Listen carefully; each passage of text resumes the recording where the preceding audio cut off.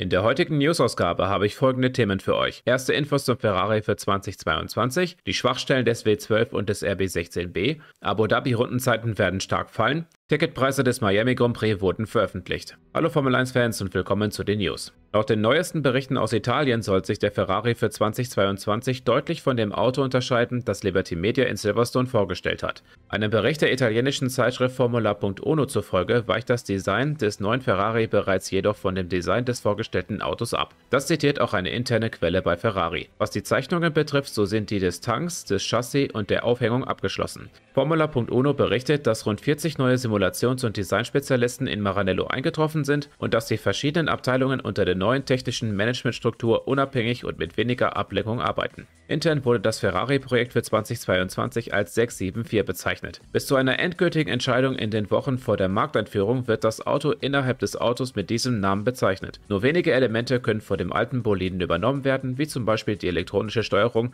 also nichts Sichtbares. Mercedes gegen Red Bull. 460 zu 437 Punkte. Noch fünf Rennen sind zu absolvieren. Aber es gibt bei beiden Teams Probleme, denn Mercedes hat Schwierigkeiten mit den Motoren und Red Bull versteht das Auto nicht mehr. Seit dem Ungarn Grand Prix hat Mercedes Probleme mit dem Motor und auch der Verschleiß war so hoch wie nie zuvor, denn auch die Kundenteams haben Probleme damit. Seit dem Großbritannien Grand Prix besitzt der W12 sein letztes großes Upgrade und der RB16B seit Sochi eine andere Frontflügelanpassung. Der wiederum ist jetzt aber schwieriger abzustimmen, denn in bestimmten Abtriebsfenstern ist die Balance schwierig, wenn einer der beiden großen Heckflügel installiert ist. In der Türkei hatte Red Bull dann wirklich guten Grip und keine Ahnung warum. Bis eine Lösung da ist, dauerte es einen Trainingstag plus eine Nachtschicht in Milton Keynes. Von den letzten sieben Grand Prix Wochenenden regnete es an vier und da muss man mit dem Setup genau reagieren und da kann man nicht permanent am Auto arbeiten. Doch so etwas macht Mercedes nichts aus. In Istanbul war Mercedes sowohl im Trockenen als auch im Nassen deutlich schneller. Die starke Form des W12 ist nicht zu erklären. Toto Wolf erklärte, dass der Mercedes anders als im Frühjahr und Sommer eingestellt wurde, wo sie noch langsam waren.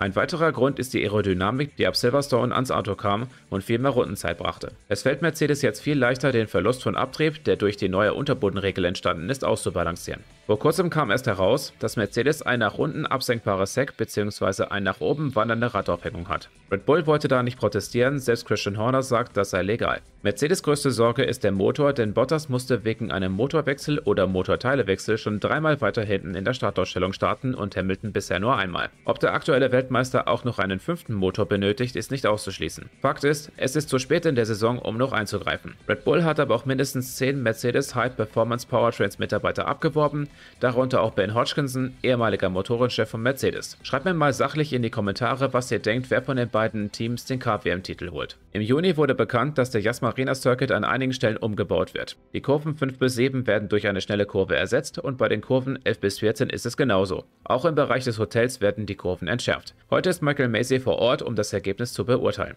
Die neue Strecke wird nicht mehr 21 Kurven haben, sondern nur noch 16 und auch die Rennstreckenlänge wurde um 273 Meter auf 5281 Meter verkürzt. Dafür gehen aber die Rennrunden nach oben. Es werden drei extra Runden gefahren, also 58 statt wie bisher 55. Ben Wilshire, CEO von Driven International, geht davon aus, dass das neue Design den Simulationen zufolge zwischen 10 und 15 Sekunden schneller sein wird. Die Polezeit aus dem letzten Jahr lag bei 1,35,246 gesetzt von Max Verstappen. Also könnte es sein, dass die Polezeit in diesem Jahr zwischen 1,20 und 1,25 gesetzt werden könnte. Schreibt mir mal eure Meinung zu den Zeiten und der neuen Strecke in die Kommentare. Die Preise für den Miami Grand Prix nächstes Jahr im Mai sind auf Twitter veröffentlicht worden und die haben es in sich. Wie man hier erkennen kann, kostet ein Wochenendticket mindestens 640 Dollar, was 551 Euro sind. Für diesen Preis kann man im Bereich Beach sitzen. Am meisten bezahlt man für einen Sitzplatz auf der Startzielgeraden, nämlich zwischen 1680 und 2070 Dollar. Das sind umgerechnet 1448